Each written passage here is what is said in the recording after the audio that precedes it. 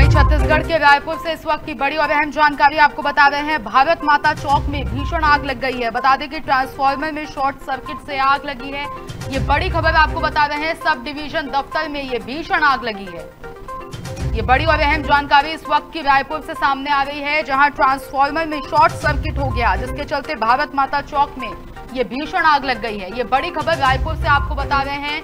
जहाँ पर इस वक्त दहशत का माहौल देखने को मिल रहा है। ये भारत माता चौक में भीषण आग लगी है। बता दें कि सब डिवीज़न दफ्तर में ये आग लगी है। रायपुर से ये बड़ी और अहम जानकारी सामने आ रही है। भारत माता चौक में भीषण आग लग गई। ट्रांसफॉर्मर में शॉर्ट सर्किट होने की वजह से आग लगी है। ये बड़ी खबर सामने आ रही है। सब डिवीज़न दफ्तर में ये भीषण आग लगी है। ये बड़ी और अहम जानकारी आपको बता रहे हैं छत्तीसगढ़ के रायपुर से, जहाँ भारत माता चौक में ये भीषण आग लगी है। बता दें कि इसके कारण में ट्रांसफॉर्मर में शॉर्ट सर्किट होना बताया जा रहा है। ये बड़ी और अहम जानकारी इस वक्त की सामने आ रही है रायपुर से, जहाँ सब डिवीज़न दफ्तर में ये भीषण आग लगती हुई नज़र आ रही है। छत्तीसगढ़ के रायपुर से ये बड़ी और अहम जानकारी इस वक्त की सामने आ रही है, जहाँ भारत माता चौक में ये भीषण आग लग गई। ट्रांसफॉर्मर में शॉर्ट सर्किट होने से आग लगी है।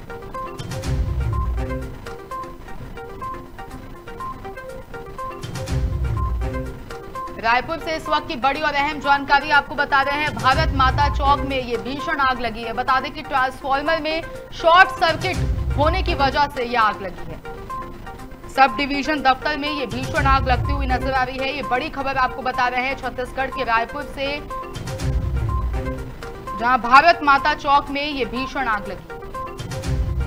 ये तस्वीरें आप देख सकते हैं। ये रायपुर से सीधी तस्वीरें आपको टीवी स्क्रीन पर दिखा रहे हैं, जहाँ भारत माता चौक में ये भीषण आग लगी है और आग बुझाने का प्रयास लगातार किया जा रहा है। बता दें कि ट्रांसफॉर्मर में शॉर्ट सर्किट होने की वजह से ये आग लगी है। दमकल की गाड़ियाँ वहाँ मौके पर मौजूद हैं और आग बुझाने का प्रयास लगातार किया जा रहा है। वहीं आसपास के इलाकों में अफरा तफरी का माहौल देखने को भी मिल रहा है। ये सीधी तस्वीरें आपको रायपुर से दिखा रहे हैं। बिजली विभाग के दफ्तर में ये भीषण आग लगी है।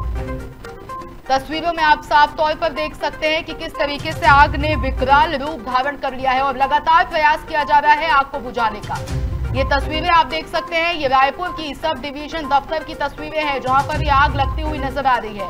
इस वक्त दमकल की छह गाड़ियाँ मौके पर मौजूद हैं और आग बुझाने का प्रयास लगातार किया जा रहा है।